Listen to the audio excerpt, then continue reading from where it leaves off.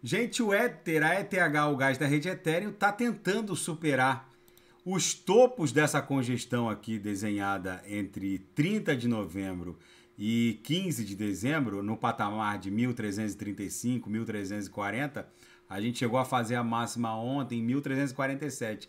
Rapidamente recuou, sentiu o topo dessa congestão, que se confunde com essa congestão também desenhada entre setembro e outubro de 22 então é um patamar que está na memória do mercado, porque impôs essa corretiva e acabou servindo como esse suporte, agora está se comportando como uma mega resistência. Aqui a gente deve ficar mais um ou dois candles, talvez até sexta-feira a gente se livre dessa congestão e parta para cima, parta em direção a esses dois cumes aqui em 1660. Aqui deve formar uma subonda 4, né? Porque isso aqui é uma onda 1, 2, 3, 4 e numa subonda 5 a gente deve buscar eventualmente a aresta superior dessa canaleta virtual de alta ali no patamar de 2,100. Uma movimentação muito interessante da ETH.